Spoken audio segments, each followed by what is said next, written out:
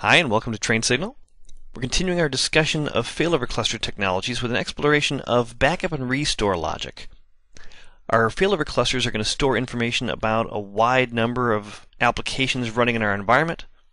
That backup and restore environment is going to be uh, important to be able to help support this failover cluster high availability configuration that we've deployed.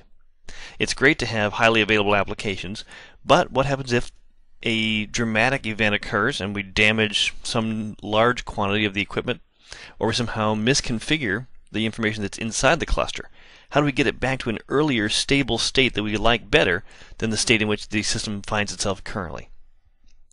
Backup and restore helps enable that ability. So we're going to focus on that here in this section.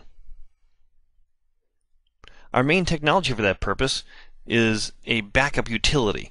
Uh, you can use any of a variety of different tools. Microsoft recommends, of course, Windows Server Backup, which is a fine starting point. There are many companies that will quickly move to another third party backup and restore software solution, and of course, that's perfectly fine. What's most important is that whatever the backup tool is that we use, that it provides support for something called Volume Shadow Copy Services, or VSS. Volume Shadow Copy is an idea that became part of the server family of OSs back with Windows Server 2003 and its intent is to do something somewhat clever. By way of analogy, you go to a diner, you sit down at a table, waitress brings you a cup of coffee and a slice of pie, and you're just about to dig in when that person says, "Oh, wait a minute, I forgot to clean your table." How about, would you just pick up your cup of coffee and your slice of pie for a second, and I'll wipe the table for you? You pick up your stuff, and whoom, the table gets cleaned, and everything goes back right to the state that it was. That's a little bit of a snapshot of what happens when Shadow Copy tries to do backups. Backups run into a couple of interesting challenges. The first major one of which is that in a lot of cases, the information that I want to back up is currently being used by somebody. The application is in use, it's got open files, it's writing to those files, it's reading from files.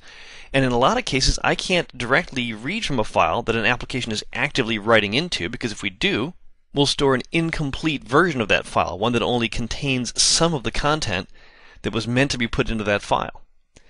If I restore the file back to that incomplete state, it's probable that that file is corrupted. It's not a workable file that can be used by the application if I were to restore it back to that particular instant in time.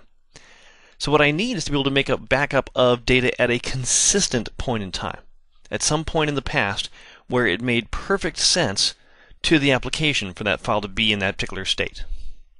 So how do we do that? Well, what we need is something kind of like the wait person asking you to pick up all of your things and hold them for a second while the table gets wiped. We need a way for a backup application to ask a program that's writing to, to a file to pause for a moment, put all the files that it's working with into a stable state of some sort, so that we can do a quick snapshot of what that environment looks like at that point in time, and let the application resume running and in so doing we create something called a shadow copy. Volume Shadow Copy Services works in such a way that anytime a file is modified or deleted, the blocks of data in the file that got changed or were removed are not thrown away permanently. They are moved into a separate area of storage on that same drive, controlled by Volume Shadow Copy Services. That means that I can take that data about the changes that have been made and the existing files in their currently changed state, and between those two things, I can reconstruct an earlier point in time for that set of data. I know what that file looked like earlier. Some of you may have used this feature with a Windows feature called Previous Versions. I can roll back a text file, a document of some sort, back to an earlier point in time and that's because the system contains not only a current version of the file in its current state, but also the information about how it got to that state from some earlier state. Now, how's that important to us here? The Windows Server Backup utility contains what's referred to as a VSS requester. It is able to issue a request to an application and say, hey, put your data into a stable state so that I can take a snapshot of that so I can take a picture of a stable state for that application so that I can then go back it up later. That request is received by In our case here, the failover cluster software. We're trying to do a backup of our failover cluster, but there are lots of applications that have this feature. The feature on the application side is called a VSS writer, W R I T E R. The VSS writer has the job of writing whatever is necessary into the files that the application cares about to put it into, again, a stable state so that I can take a backup of all those files in that state and then let the application resume running. So that will give us the ability to capture all the data about our cluster, store it to a backup in such a way that we have a perfect, consistent set of data about that cluster that I can restore back to at a later point in time. That restore process takes one of two forms. That backup is either an authoritative restore or it's a non-authoritative restore. The non-authoritative restore is a classical sort of a backup. Consider a scenario where the operating system on one of our failover cluster nodes becomes corrupted. System's unbootable. I want to be able to restore that failover cluster node back to a workable state. But the correct information about the way the cluster is behaving is still in the working nodes of the cluster. I might be making legitimate changes to the way the cluster behaves. That information needs to be uh, preserved in the running nodes in the cluster. When I go restore my dead server, I go take my backup and reapply it to the new hard drive of the server that had the problem. That server doesn't have a complete copy of the original information about the cluster, but it just has the fact that it was a cluster member. That cluster node will learn the correct information about the cluster from the other cluster nodes as it resynchronizes with that environment. Authoritative restore is a way of restoring data about a cluster to a cluster server in such a way as to overwrite all the information that's in the other cluster nodes that are currently operating at that particular moment. This is a way of saying the way the cluster as configured currently on those other servers is wrong. The right way for it to be is what's in the backup. And I want to authoritatively restore that information in such a way that says, let's put that back exactly where it was at this point in time, throwing away any changes that have taken place since that point. Make sure that you know when it's an appropriate time to do an authoritative restore, because potentially, if you use it at the wrong time, you could be overwriting the current right configuration with an older, less desirable configuration. So let's go ahead and demonstrate this on our failover cluster and validate that we can back up and restore cluster configuration data to a known point in time. So here we are on server 2. This is one of my failover cluster nodes. I want to be able to make a backup of the way this thing is configured. To do that, I'm going to go ahead and use Windows Server Backup because it's free. Let me go ahead and install that. And you know what I'm going to do? I'm actually going to go ahead and install it by way of PowerShell. I'm going to go get Windows features whose name contains the word back, like part of the word backup. And there is one called Windows Server Backup. I want to install that. So I'm going to take that Windows Server Backup component and feed it to the install dash Windows feature commandlet and I want to ensure that I install any sub features if they're there, and I want to include management tools if they're appropriate. Some of you will note that that's the same behavior that you see in the Server Manager GUI. When you go install some component, it'll ask you, do you want the management tools that go with it also? That's not surprising in light of the fact that Server Manager does almost all of its work through PowerShell. The same is true, by way of example, for the Active Directory Administrative Center tool that we use in order to configure AD in a Windows Server 28R2 and later environment. Of course, we can still use Active Directory users and computers, but if you've attended the section on claims-based management of uh, Active Directory user accounts, you're aware that there are some things that can only be done in the Active Directory Administrative Center GUI. Everything the ADAC does rests on PowerShell as well. There we go, we've successfully installed the backup tool. So having installed Windows Server Backup, I can go ahead and launch it. The GUI version of this tool will be perfectly adequate to the job of backing up the cluster. Once it's backed up, though, we'll see that the recovery process, the authoritative restore that I'll need to do, is going to require the assistance of the command line version of the utility.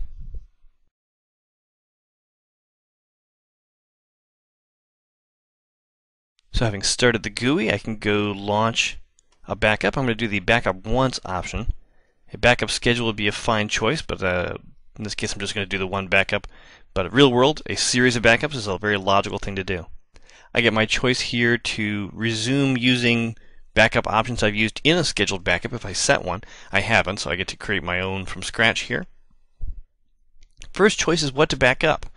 I can back up the whole server, or I can pick and choose particular pieces of it, choosing particular drives, backing up those elements of the system that seem necessary for the purposes of this particular backup process. In this case, I'm going to go ahead and do a full system backup. That is going to include, importantly, the applications that are an important part of what we're doing here. It wants to know where I want to back up to, and I'm going to choose a shared folder on the other side of my network. I created a shared folder for this purpose on New York City Server 1. And I'll back up to that location. So this next part of the video is going to take a, a, minute or two here, but here's what I'm going to do. I'm going to push the magic train signal button, and this is now going to run much faster than it would in real life.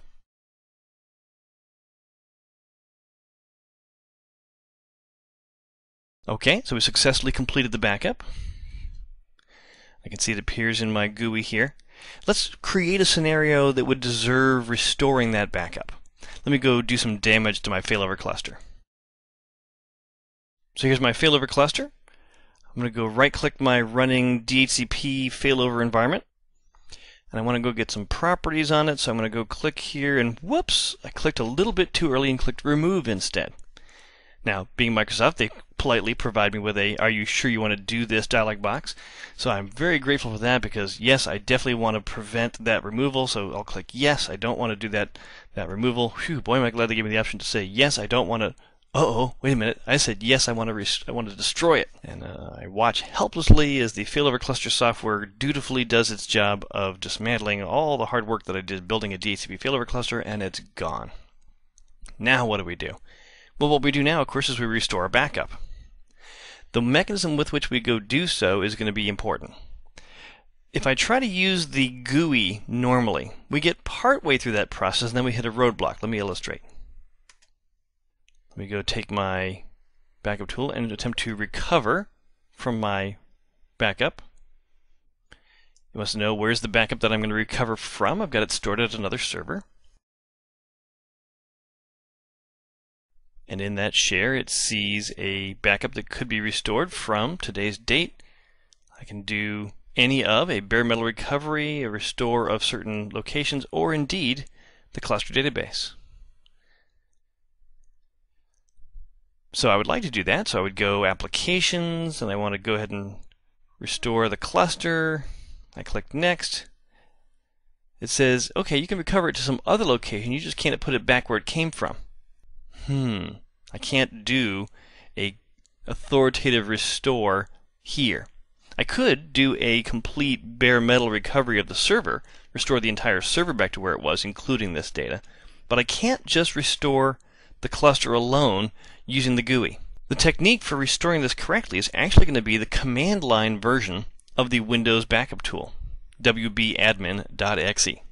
So let me close out of my recovery console here, and I'll drop to a PowerShell prompt. And let's explore wbadmin.exe.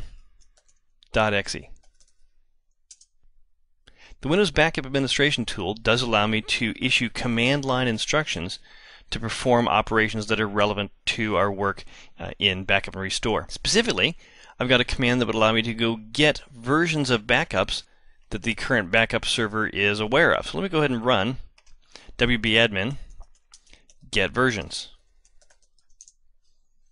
And it sees a backup that took place today, uh, and it uses a version identifier which contains the date and time information. So if I want to, I can go get more information about that particular backup by getting a list of items contained in a backup identified by a particular version. If I say wbadmin get items, it invites me to use a version property to identify which particular backup I'm caring about. wbadmin get items dash version, and I can paste that in because I wisely and cleverly pressed the enter key when I highlighted that piece of text. And I need a colon between the piece of information I want and the data that identifies it. There we go. So there's my description of my backup. I can see when the backup took place. I can see that we backed up full volumes here and there. And hey, it looks like we backed up an application called cluster. So what I'd like to do is to restore that item. So how do I get that data back? Well, if we go back and look at the help text about the execution of this tool, we have a start recovery utility. So let's try wbadmin start recovery. When we do, it says, hey, that's not quite right either because we need to be more explicit about what it is that we intend to restore, including things like identifying what type of item we want to restore and which particular item in that collection we want to restore using that particular item type. Well, it turns out I do want something from the application type. You saw that in the GUI. The item we saw in our earlier retrieval of item information is called cluster. So my next command is wbadmin start recovery dash version colon I can paste in my timestamp information dash item type colon app want application data. Which particular application? I want a member of the items collection whose name is cluster You've chosen to recover the cluster database. Exactly right. How do I do it? I get my choice of doing an authoritative restore. Do I want to intend to do that? Yes. This is what I want to do. I want to perform an authoritative restore of the cluster database, which is to say, this server is going to be telling all the other cluster servers, trust me, mine is the right copy. Now, Microsoft is going to actually suggest, as part of this process, that we go back to our failover cluster tool and stop the cluster service on any other cluster nodes other than the one that we're restoring our data to. So I'm going to go ahead and stop server 3's cluster service. So that's now down. Now I can proceed with my restoration of the cluster database onto server 2. You'll recall that we made a change to our environment to remove the DHCP failover cluster role. I have no such role on my system, at least as of the moment. Server 2 is up, server 3 is down. No roles appear to be present. People are calling the help desk saying, hey, how come I can't get an IP address? We're going to fix that. In our command line version of the backup tool, we are, yes, going to perform an authoritative restore.